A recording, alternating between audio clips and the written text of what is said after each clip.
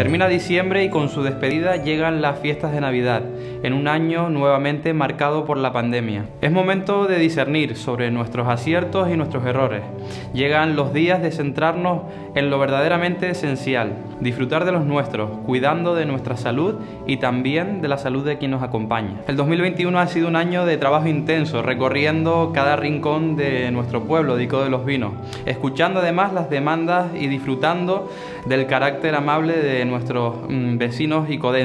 Carácter además que me sirve día a día como empuje para seguir adelante. En estas fechas de reflexión mi mayor deseo es que nuestros hermanos palmeros las puedan disfrutar en paz, sobre todo por el fin del volcán, y que a nuestro pueblo Aico de los Vinos llegue la tan ansiada prosperidad. En nombre de todo el equipo de Alternativa Icodense les deseo una feliz Navidad y un próspero año 2022.